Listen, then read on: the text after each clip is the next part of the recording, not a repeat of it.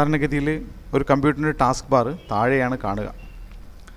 നിങ്ങൾക്ക് മറ്റെവിടെയെങ്കിലും ഇത് ലൊക്കേറ്റ് ചെയ്യണമെന്നുണ്ടെങ്കിലോ ടാസ്ക് ബാറിൽ പിടിച്ചുകൊണ്ട് ഡ്രാഗ് ചെയ്ത് വലിച്ചു വയ്ക്കുക ചില സമയത്ത് ഇത് അനുവദിച്ചെന്ന് വരില്ല.